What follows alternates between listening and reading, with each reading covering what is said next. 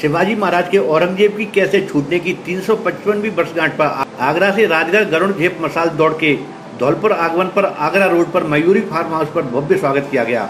यात्रा के संयोजक डॉक्टर संदीप महिन ने कहा कि युवाओं में राष्ट्रभक्ति की भावना को जगाने के उद्देश्य से मसाल दौड़ का आयोजन किया गया है। आज से तीन सौ पचपन वर्ष पूर्व शिवाजी आगरा लाल किले से मुगल शासन की आँखों में धूल झोंक के अपनी पूरी सेना के साथ राजगढ़ पहुँच गए थे।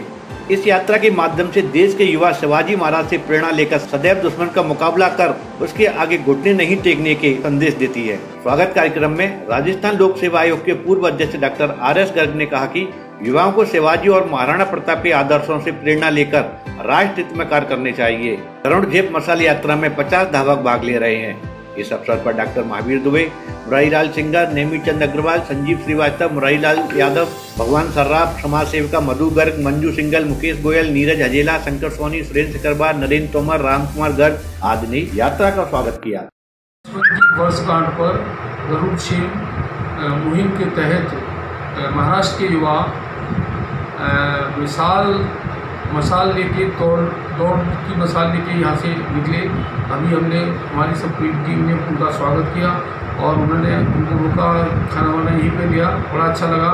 और उन्होंने सारी बातें बताई कि उनका उद्देश्य क्या है। वो ये चाहते थे कि औरंगज़ेब की औरंगज़ेब की यहाँ से, उनके यहाँ से महाराज शिवाजी किस तरह से निकल के आगरा से राजगढ़ पहुँचे थे। वो सारी बातें, उनकी जो साहस और उनकी जो आते हैं सब अपने युवाओं में पहुँचे। इस भारतीय जनता पार्टी की जन आशीर्वाद यात्रा केंद्रीय राज्य मंत्री एवं आगरा सांसद एसपी सिंह बघेल के नेतृत्व में मंगलवार शाम धौलपुर पहुँची। धौलपुर पहुँचने पर बीजेपी जिला अध्यक्ष और सांसद मनोज राजौरिया के साथ पूर्व मंत्री जगमोहन बघेल एवं बाचाराम बघेल के नेतृत्व में बघेल समाज सहित विभिन्न संगठनों ने स्वागत किया। जगह जगह स्वागत के बाद एसपी सिंह बघेल पंडित किशन चंद शर्मा के फार्म हाउस मचमन रोड पहुँचे। यहाँ वे मीडिया से मुखातिब हुए और यात्रा की उद्देश्य और बीजेपी की नीतियों को मीडिया के सामने रखा। प्रेस कॉन्फ्रेंस के बाद बघेल मटकुंड जी के दर्शन करने के लिए पहुँचे। मंगलवार रात जन आशीर्वाद यात्रा का पड़ाव धौलपुर में ही रहेगा। बुधवार को यात्रा आगरा के लिए प्रस्थान करेगी। मंत्री बघेल का मंगलवार शाम का भोज पूर्व जिला परिषद सदस्य कविता बाचाराम बघेल के निवास पर रहा। जहाँ समाज से जुड़े विषयों पर भी चर्चा हुई। राजस्थान रोडवेज़ श्रमिक संगठनों के संयुक्त मोर्चा की ओर से अपनी विभिन्न मांगों को लेकर रोडवेज़ कर्मचारियों ने आज धौलपुर ज़िले के रोडवेज़ परिसर में प्रदर्शन कर सरकार के खिलाफ नारेबाजी की।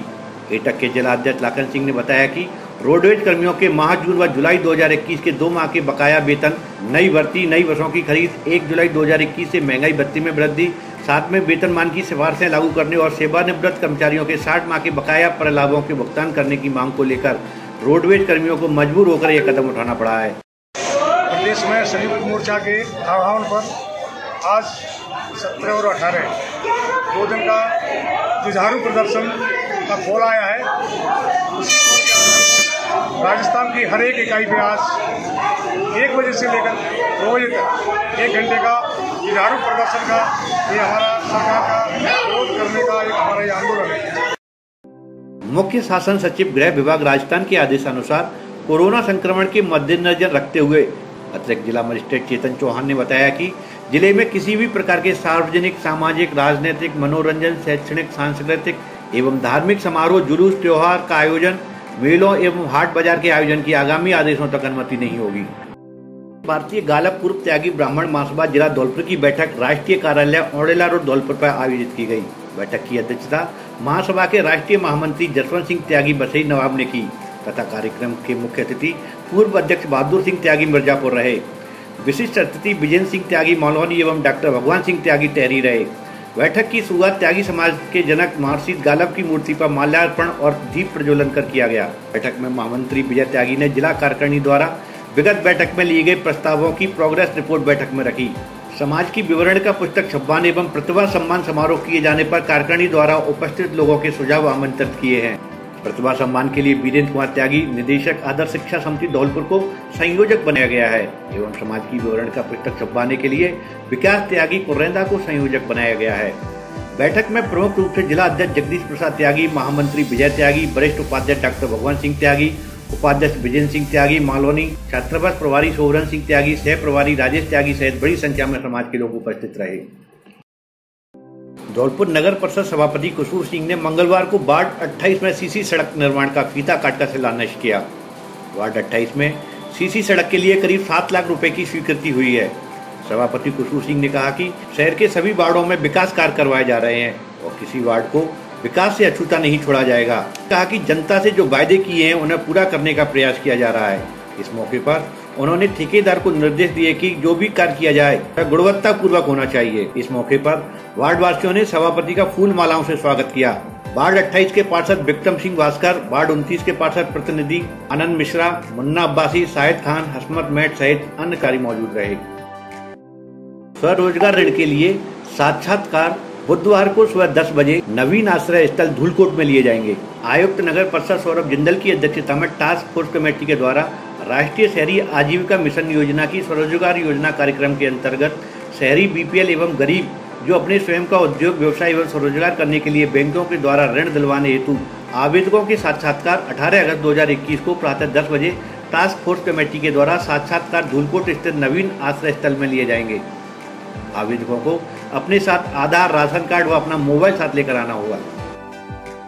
अखिल भारतीय विद्यार्थी परिषद इकाई बाड़ी ने मुख्यमंत्री के नाम उप जिला कलेक्टर को ज्ञापन सौंपा। जिला संयोजक दिनेश गुर्जर ने बताया कि राजकीय महाविद्यालय में गेस्ट फैकल्टी के लिए प्रदेश सरकार द्वारा विद्यालय संबल योजना के तहत जो रिक्त पद भरे जा रहे हैं, उनमें आवेदन करने वाले अभ्यर्थियों में राजस्थान के अभ्यर्थियों को प्राथमिकता दी जाए।